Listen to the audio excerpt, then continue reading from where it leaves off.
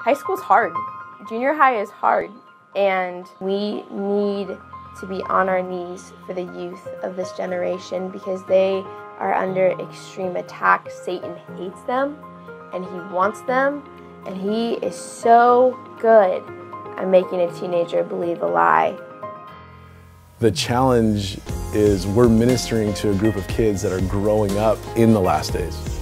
Um, Jesus said that it's going to be difficult times, perilous times. With that, though, there's also the victories of ministry that God promises that if you're giving them the Word of God and you're teaching them about Jesus and you're loving them the way that Jesus loves them, you are bound to see fruit in their life. We see the world pull our young people down. And what are we doing to counteract that? Are we ready to, to stand up, to go in and to fight for our young people? We're excited to be a part of a youth pastors and leadership conference coming up this September.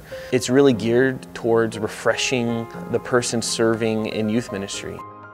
Youth ministry is not about being like a kid, it's going after the kids. They're looking for someone who genuinely cares and will speak the truth in love.